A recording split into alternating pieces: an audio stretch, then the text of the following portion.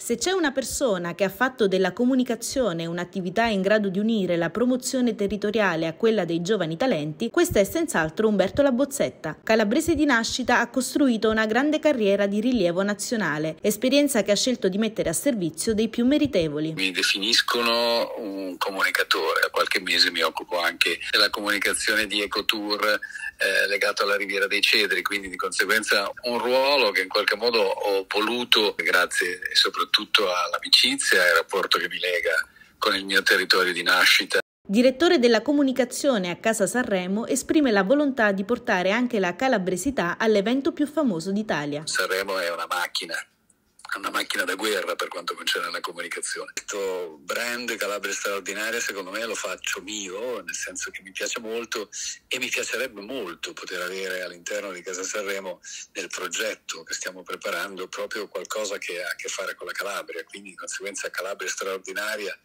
è secondo me molto importante, l'idea è quello di fare eh, attività che possono rendere il nome della Calabria in un contesto di grande eh, presenze mediatiche ovviamente, ma che possono dare ancora maggiormente visibilità. Inoltre ha lanciato il progetto Play Your Music, partito dal Veneto, che ha visto tra i protagonisti un altro giovane calabrese, il cantautore Francesco Pintus. L'obiettivo è quello di costruire un progetto che possa in qualche modo sul territorio dare l'opportunità a dei giovani talenti che seleziono ovviamente ascoltando i loro progetti eh, facendoli suonare su questo palco e anche pagandoli, nel senso che questa è la caratteristica di questa cosa. In una, tra le tante chiacchierate che ho fatto con un altro ragazzo che si muove bene e che lavora molto bene, che è Davide Barletta, che stimo molto, eh, mi ha fatto conoscere tempo fa eh, Francesco, io ho sentito la sua musica, insomma lo trovo veramente molto interessante. C'è un livello, un grado di professionalità dietro l'evento di Play of Music che